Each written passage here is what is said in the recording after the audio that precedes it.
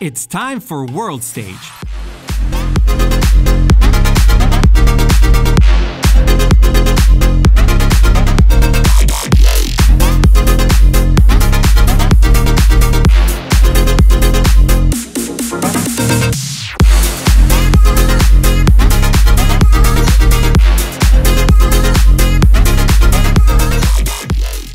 Only on Uplive.